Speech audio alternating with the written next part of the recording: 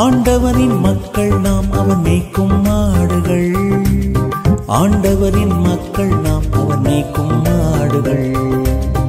ஆண்டவரின் மக்கள் நாம் அவர் மேய்க்கும் மாடுகள் ஆண்டவரின் மக்கள் நாம் அவர் மேய்க்கும் மாடுகள் அவர் மேய்க்கும் மாடுகள் அவர் மேய்க்கும் மாடுகள்